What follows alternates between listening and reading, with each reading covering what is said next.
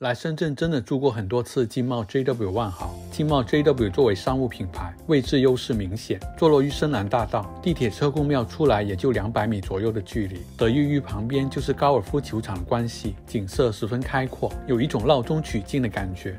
踏过门口的施旧地毯，穿过一个层高被略微拉低的前厅，直到金色的立柱逐渐显露其伟岸的身躯，才给人一种 JW 该有的宏大感。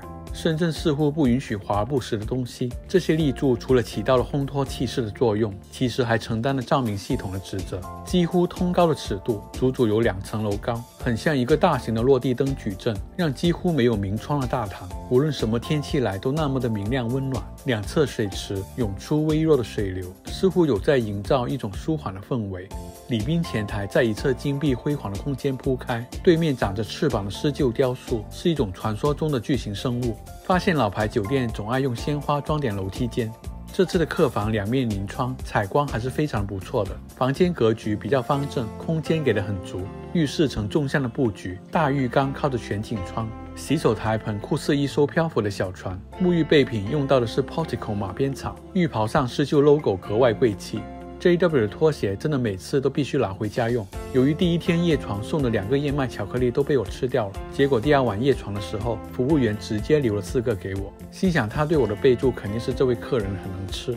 这次的房间直接就在二十七层的行政楼层，与行政酒廊就只隔着电梯间。近水楼台先得月的好处就是酒廊几乎成为客房延续出去的一部分，所以除了在房间睡觉，我大部分时间都在行政酒廊吃吃喝喝，还在这里打印了一些资料。酒店设置有一个露天泳池，景色直面平安中心，不太冷的知识。这里是羞羞的铁拳的取景地，同在一个露台的还有晚上才营业的酒吧，中间的有样熊格外吸睛。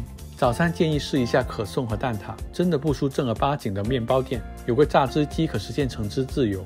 重装后的中餐厅更具中式韵味，主打的奇亚籽脆皮胡须鸡。上桌自带自我介绍，鸡皮十分酥脆，奇亚籽的加入更达到了超级加倍的效果。晚收益四零玻璃虎虾球，虾肉洁白如玉，切开后白葡萄酒香气四溢，入口还有一股淡淡的奶香。餐前餐后的两道甜点都做到了现在网友对甜食的最高评价，不甜。上桌仙气飘飘，口味很清爽，没什么负担，总体吃下来还是很舒服的。